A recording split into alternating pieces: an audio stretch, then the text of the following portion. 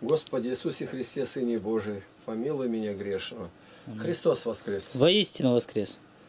Мы проходим жития святых во свете Библии рассматривая, чтобы все видели это открытым оком. Пахомий Великий 15 мая по определенным вопросам и ответам. Один из них проводил много ночей в непрерывном молитвенном бодрствовании, услаждаясь надеждой заслужить особое уважение от людей. Пахомий убеждал его изменить образ жизни говорил, чтобы он ходил в трапезу, когда призывается туда братья, и вкушал с ними пищу, только не до полного насыщения, чтобы совершал такое количество молитв, какое назначено всем инокам, чтобы по выходе из кели был ко всем любезен и не казался мрачным. Но это вот невозможно. Вот считают старообрядцы, как они могут это не видеть? Не казался мрачным. Конечно, не следует покидать и своих подвигов, так как это было бы угождением сатане. Но надо на все делать ради Бога, не давая дьяволу места в сердце своем. Когда этот инок продолжал действовать по-прежнему, опасаясь как бы не показаться братьям слабым и жалким, Пахомий опять настойчиво советовал ему ослабить свои подвиги. Много раз напоминал тщеславному иноку свои прежние наставления и, наконец, сказал ему, что он дойдет до состояния безумия, если будет упорствовать в своем пристрастии к внешним подвигам ради уважения от других-то, а не ради умершления страстей. Но монах делал по-своему, и предсказание Пахоева исполнилось. Тщеславный монах, более и более надмеваясь гордостью по причине своего наружного благочестия, дошел до безумия, до самозабвения. Он готов был даже убить святого Федора, когда Ава посал его отвлечь этого инока от его тщеславной и Богу неугодной молитвы. К счастью, руки его, протянутые с обрубком дерева, онемели, и он только неистово кричал на Федора и называл его врагом Божьим. Долго он был в таком жалком состоянии. Какие случаи бывают? Вопрос. 2122. Если Господь в Евангелии дает повеление не убивать, спрятать мечи, любить врагов, то почему жития прославляет воинов, христиан, что более безусловно является примером для подражания, чем кроткий Христос? Ответ. Потому что так попы научили, и эти мнимо верующие шли на службу императорам-гонителям. Лишь бы жертву идолам не приносить, а служить кровавому режиму и быть в его армии, это считалось нормальным явлением. Христово учение об отношении к врагам было недоступно пониманию. Носили кресты на себе, потом на знаменах, и также убивали того, на кого покажет монарший жезл. Захватнические войны. Вот Георгий Победоносец, он в армии захватчика служил. Уходили белые из России. Еще с собой разные святыни брали, еще надеялись. Но приговор уже вступил в силу и будет их преследовать гнев Божий. Надеялись вернуться победителями. Разве никто не мог сопоставить происшедшее с подобным из жизни Давида и сказать также, 2 Царств 15.22, «Возврати ковчег Божий в город, и пусть он стоит на своем месте. Если я обрету милость перед очами Господа, то он возвратит меня и даст мне видеть его и жилище его». Хвалили своей Адигитрией и всегда подтверждали, что заседание было в ее присутствии. И сколько же было там того, в чем потом приходилось горько раскаиваться. И никакое присутствие не поможет нам, если мы не отречемся от самих себя и не дадим место Духу Божию действовать в нас через Слово Его. Агапит, исповедник, 18 февраля. Император Ликиний, узнав о том, что преподобный Агапит обладает большой телесной силой, повелел взять его из обители и против его воли определил число своих воинов. Исполняя обязанности военной службы, преподобный не оставлял иноческих подвигов. Продолжал служить. Вопрос 2123. Есть изречение. Если враг не сдается, его уничтожают. Поддерживали ли это святые? Это Горький, Максим сказал. Ответ. Хотя бы кто-то и поддерживал, но мы будем перед Богом отвечать по тому, что требует от нас Слово Божие. А оно в Новом Завете учит совершенно по-другому, чем этот горьковский афоризм гонителей христианства. Матфея 5.44. А я говорю вам, любите врагов ваших, благословляйте проклинающих вас, благотворите ненавидящим вас, и молитесь за обижающих вас и гонящих вас. 2 Тимофея 2, 25-26. С кротостью наставлять противников – не даст ли им Бог покаяния к познанию истины, чтобы они освободились от сети дьявола, который уловил их в свою волю? Когда христианство стало государственной религией, они тут же прибегли ко всем языческим методам уничтожения своих противников. В Греции среди православных императоров шла рубка постоянно. Калечили друг друга и любого, кто казался претендентом. Выродки от царя Ирода – если были сыновья, их кастрировали всех. Но есть прекрасные моменты, когда силой духовной власти, святости авторитета усмиряли даже внешних врагов. Вот этого и нужно держаться, а не плотского оружия. Ефесянам 6.12. Потому что наша брань не против крови и плоти, но против начальств, против властей, против мироправителей тьмы века сего, против духов злобы поднебесной.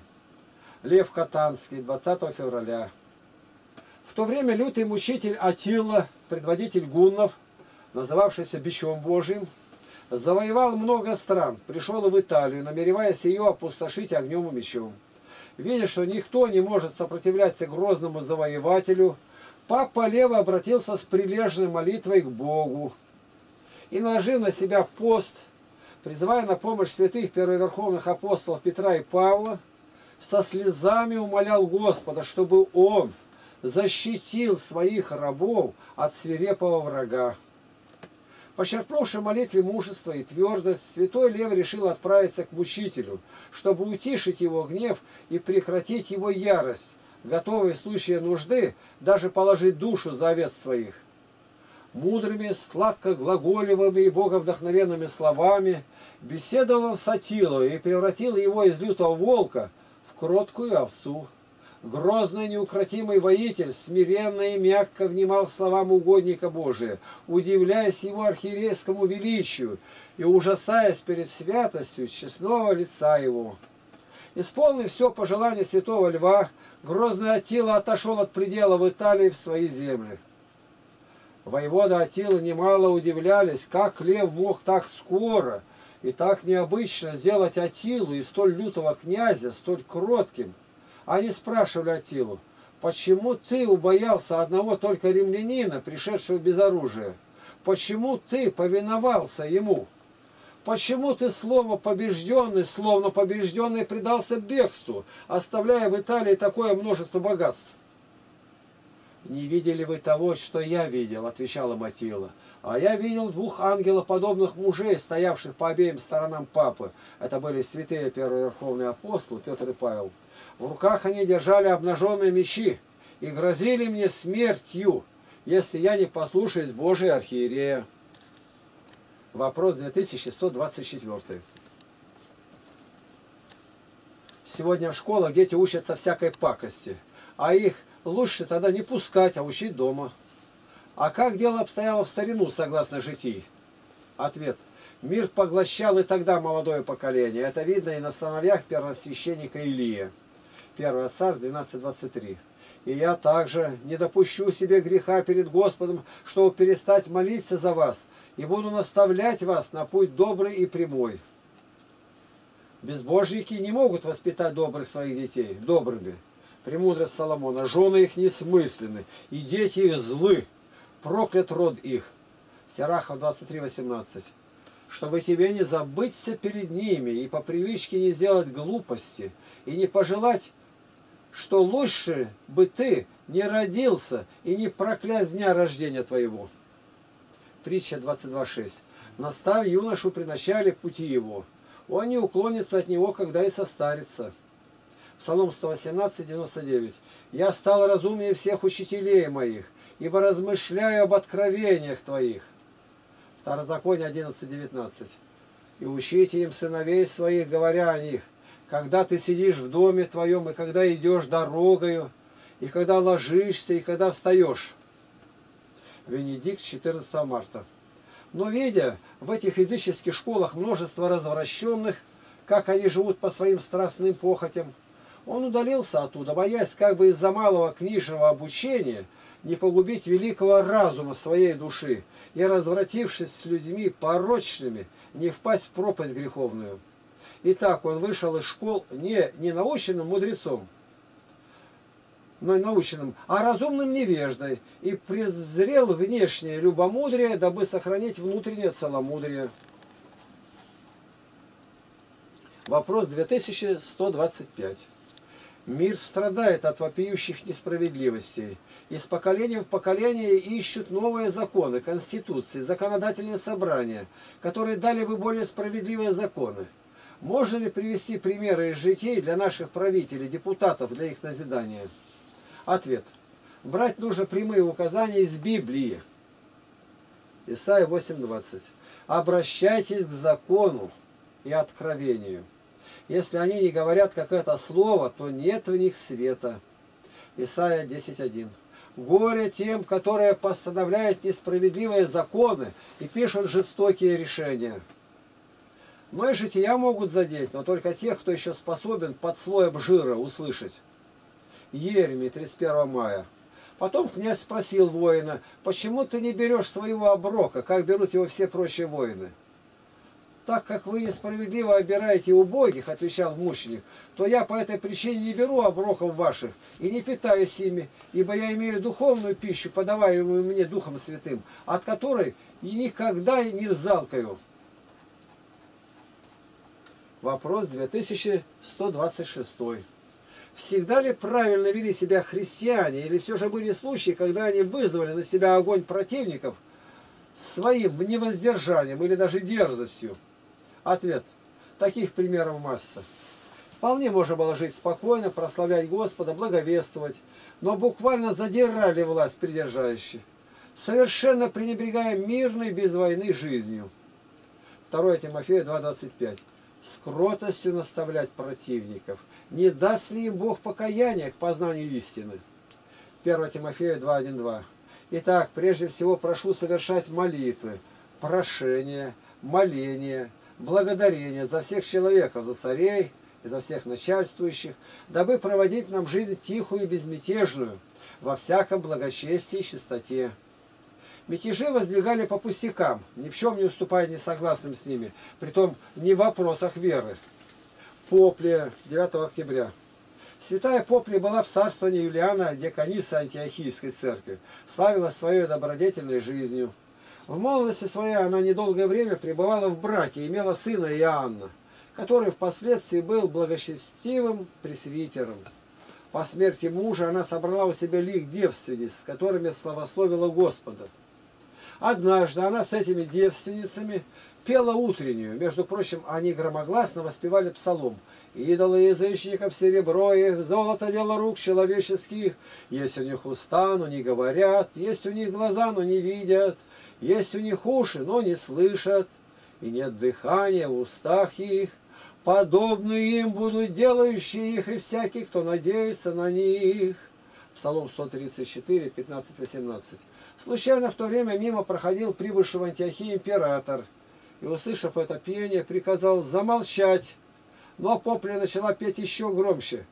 Тогда разгневанный император велел привести к себе начальницу хора и приказал каждому из сопровождавших его воинов бить ее по лицу.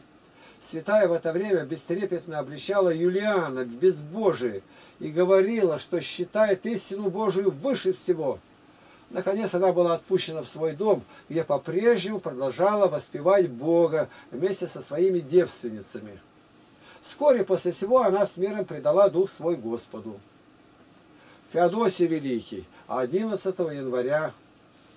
Великий Отец, понимая лукавство царя, был как бы орел, летающий в недосягаемый, который скорее сам мог уловить своего ловца.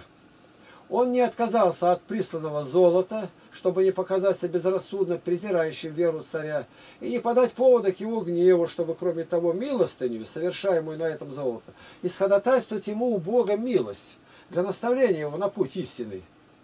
Но милостыня не имела никакого успеха, потому что золото было прислано не по правде, а с лукавством.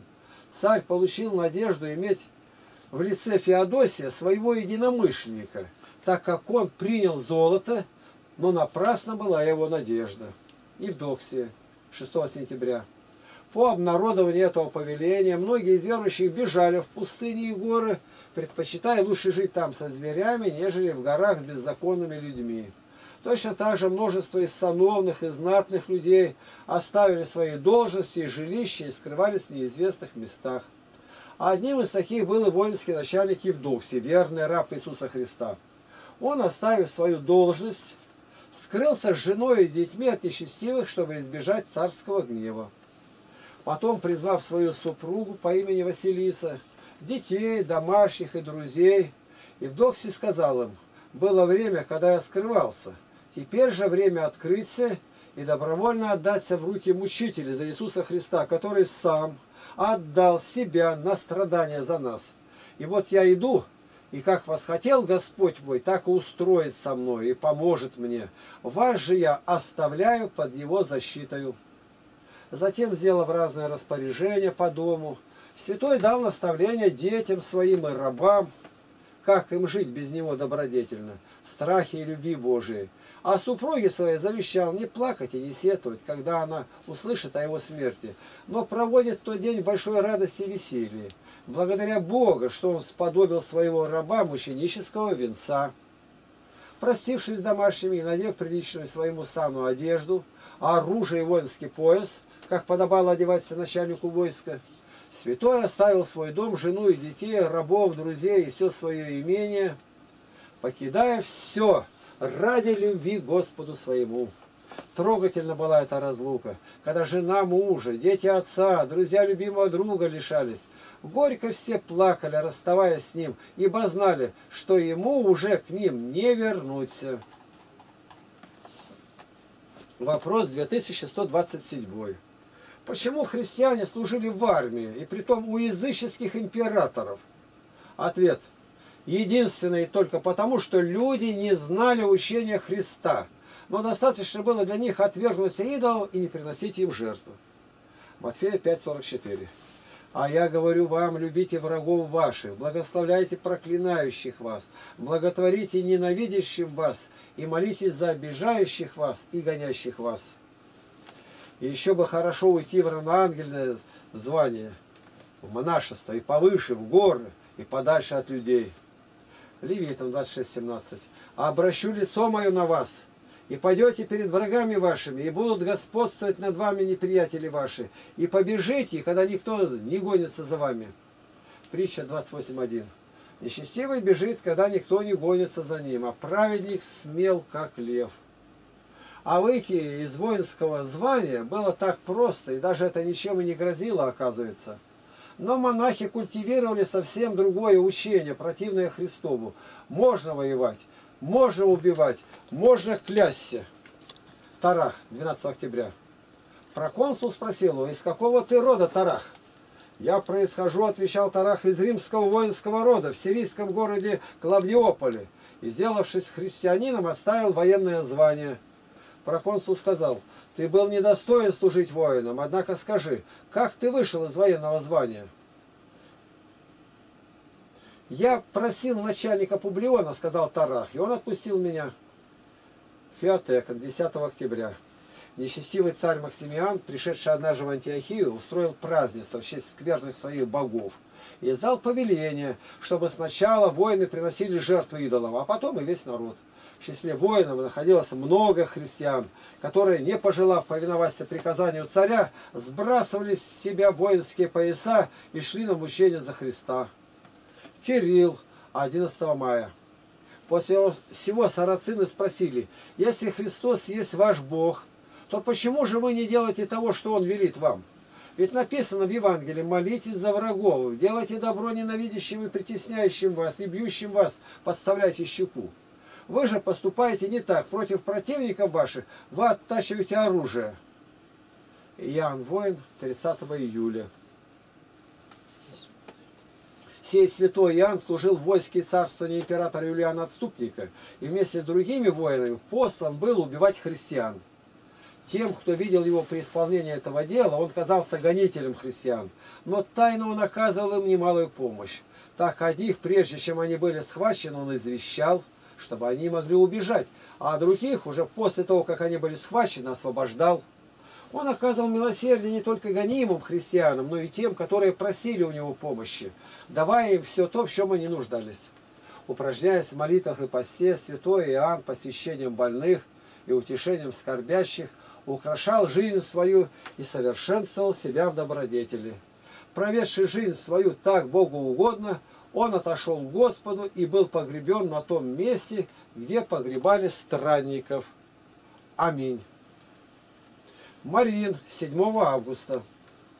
Затем, придя с ним во святой алтарь, епископ, указывая рукой на святое Евангелие, на воинский меч, которым Марин был припоясан, сказал, «Из двух этих вещей избери, достойный муж, какую-либо одну, или носить этот меч, чтобы временно служить земному царю, а по смерти получить вечную погибель, или сделаться воином небесного царя, положить душу за его пресвятое имя» написано всей книге, и царствовать с ним бесконечные веки.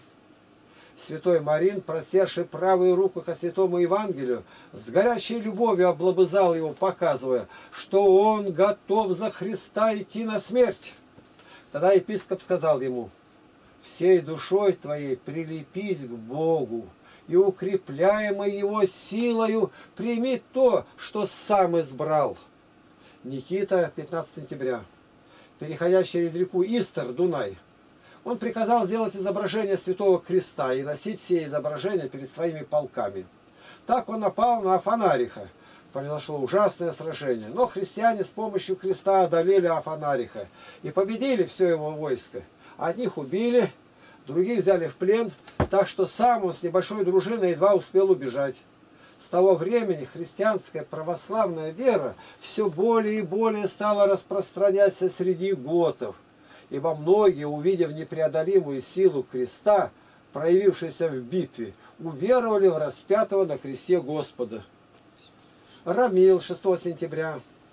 Случилось, что Троян, находясь со множеством своего войска в восточных странах, для покорения себе и веров, савраматов, арабов и других народов, вздумал пересчитать своих воинов и нашел среди воинских полков 11 тысяч человек, исповедовавших Христа и отвергавших поклонение идолам. 11 тысяч в одном месте. Всех их троян с позором отослал в Армению, надеясь, что это заставит их отречься от Христа и принести жертву идолам. И они снова вернутся в свое воинское звание и получат прежнюю воинскую честь. Тогда Рамил, как военачальник, пришел к царю и укорял его в безбожии, безрассудстве, в том, что он, вышедший на войну, сам уменьшает свое войско. Себя же Рамил исповедовал христианином, готовым умереть за имя Господа Иисуса Христа своего. Троян сильно разгневался на святого, повелел его жестоко бить и осудил на смерть. Сергий Радонежский. 25 сентября. Затем он, осенив князя честным крестом, преподобный пророческий изрек.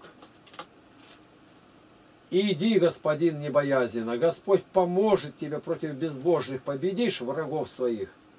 Последние слова он сказал одному только князю. А обрадовался тогда защитник русской земли. Пророчество святого заставило его прослезиться от умиления. В то самое время в обители Сергиевой подвязались два инока. Инока! Александр Пересвет и Андрей Ослябе. В миру они были воинами, опытными в ратных делах. То есть теперь они стали иноками. Всех иноков воинов и просил великий князь у преподобного Сергия. Старец тотчас же исполнил просьбу Дмитрия Ивановича, Ивановича и приказал возложить на них на этих иноков схему с изображением креста Христова. Вот чада, оружие непобедимое. Да будет оно вам вместо шлемов и щитов бранных. Тогда великий князь в умилении воскликнул – если Господь мне поможет, и я одержу победу над безбожными, то поставлю монастырь во имя Пречистой Богоматери. То только за одного это Сергия Радонежского нужно было предавать анафеме.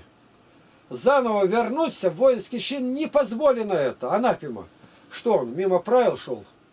Простившись мысленно со своим отцом духовным, со своим собратом Ослябою, с великим князем, Сей доблестный воин Христов с копьем в руках быстро устремился на своего противника. со страшной силой. Они шиблись и оба пали мертвыми. Тогда началась ужасная битва. Такой сечи еще не бывало на Руси. Бились на ножах, душили друг друга руками, тесня один другого, умирали под копытами лошадей. От пыли и множества стрел не видно было солнца. Кровь лилась потоками на пространстве целых десяти верст. Много доблестных воинов русских пало в тот день, но вдвое больше было побито татар. Битва окончилась совершенным поражением неприятелей. Безбожные и высокомерные враги бежали, оставив за собой поле битвы, усеянное трупами павших. Сам Мамай едва успел убежать с малой дружиной. Пало много. А сколько много-то? Это первая победа. 360 тысяч воинов. Осталось только 40 тысяч. Одна десятина. Девять были убиты. А через шесть лет пришел Тахтамыш и заново все вернул пространство и обитель Сергия Радонежска сжег. Он бежал. То есть эта война совершенно не нужна была, как Бородинское сражение. Главное, как Кутузов говорил, отсидеться, выждать момент. И Господь уничтожил, заморозил бы и все. Во все время, пока происходила ужасная битва, преподобный Сергий, собрав братью, стоял с нею на молитве и усердно просил Господа, чтобы он даровал победу православному воинству. Вскоре после всего наваждением дьявола татары под предводительством нового хана Тахтамыша коварным образом напали на русскую землю. Тахтамыш внезапно захватил Москву, разорил несколько других городов. Преподобный Сергий удалился в Тверь. Страшные враги уже были недалеко от обители, но могущественная десница Божия сохранила монастырь от дерзновенной руки грозных завоевателей. Тахтамыш быстро ушел, когда узнал, что приближается великий князь со своим воинством. Аминь.